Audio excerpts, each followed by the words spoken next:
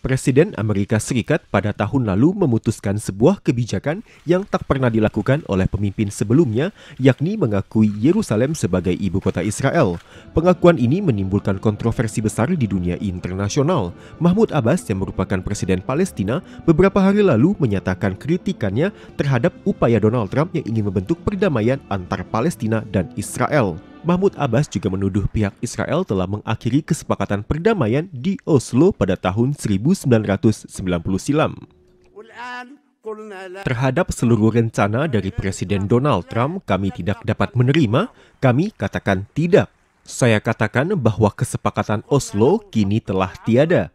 Pihak Israel telah mengakhiri kesepakatan perdamaian tersebut dan sekarang kami harus membahasnya kembali jika kesepakatan Oslo tersebut telah berakhir, ke mana lagi kami harus mengarah. Hal ini dirasa akan menjadi sangat tidak seimbang untuk mewujudkan perdamaian antar Palestina dan Israel. Status Yerusalem merupakan salah satu isu paling sulit dirundingkan antar Israel dan Palestina. Pihak Palestina mengklaim bahwa mereka setelah membentuk negara, maka Yerusalem bagian timur merupakan ibu kota mereka.